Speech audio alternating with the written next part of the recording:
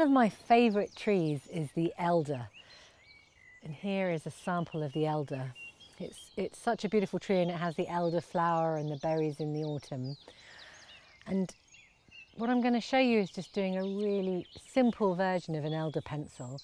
You can make it far more complicated and use far more tools as they get older to, to actually make an elder pencil. But this is something you might do um, with, with younger children.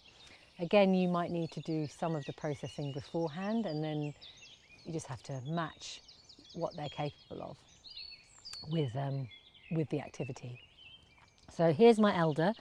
Um, like with all plants, make sure you've identified it uh, well so you know the plant that you're using. This particular plant has a very soft pith in the middle which is really useful because you can hollow it out